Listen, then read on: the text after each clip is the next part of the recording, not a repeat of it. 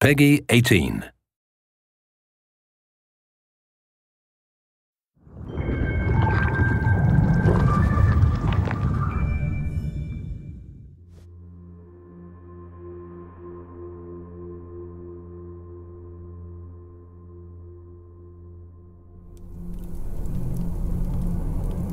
The alchemy of wealth from air will bring a second blight upon mankind.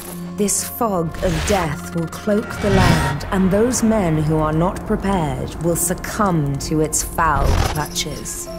For God shows no mercy on those who heed not his words. Thus will the end come, and the world made unworthy in his eyes will be purified by black angels, so that he may begin anew.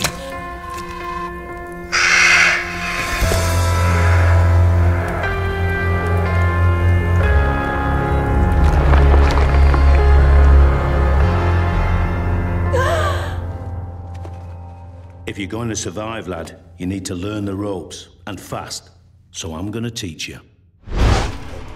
Rule number one. Keep your bloody distance, or the infected will clamp down on you like rabid dogs. Rule number two. Waste not, want not. Could be a long time before you find any more loot. Rule number three. Keep a lookout for higher ground when you're in the city. The infected can't climb ladders. Rule number four. The infected have got no higher brain functions, but they can smell normal people coming. Be quiet, or they will find you. But that doesn't make them deaf and blind. They're attracted to bright lights. Rule number five. This is the most important one. Nothing is really dead until you've blown its head off.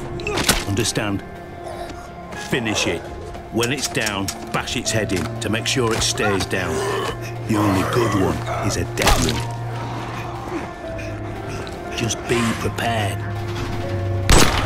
How long will you survive?